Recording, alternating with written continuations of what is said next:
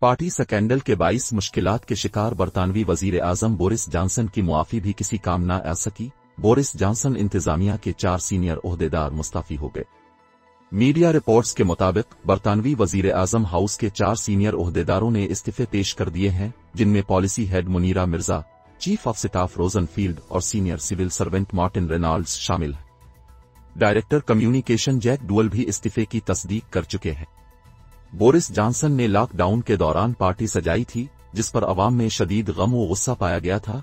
बरतानवी वज़ीर आज़म ने अवामी रद्द अमल पर मुआफी भी मांगी थी, मगर बरतानवी सिविल सर्वेंट से गिरे की इंक्वायरी रिपोर्ट के बाद वज़ीर आज़म के मुस्तबिल पर सवाल उठने लगे थे।